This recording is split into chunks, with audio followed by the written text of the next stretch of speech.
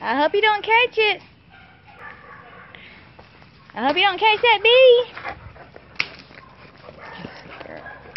Pretty girl. you don't want that bee, baby.